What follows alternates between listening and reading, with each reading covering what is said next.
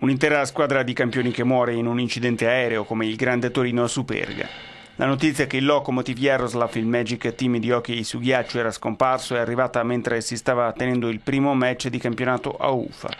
I giocatori hanno chiesto di non rientrare in campo e con il pubblico, in un'atmosfera di grande commozione, hanno osservato un minuto di silenzio.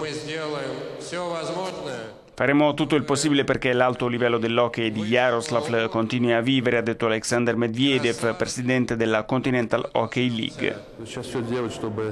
Ora dobbiamo fare tutto il necessario per rendere adeguatamente onore alla loro memoria e naturalmente sostenere le famiglie. La federazione hockey su ghiaccio farà tutto ciò che è in suo potere come è giusto che sia, ha dichiarato il presidente Vladislav Tretiak.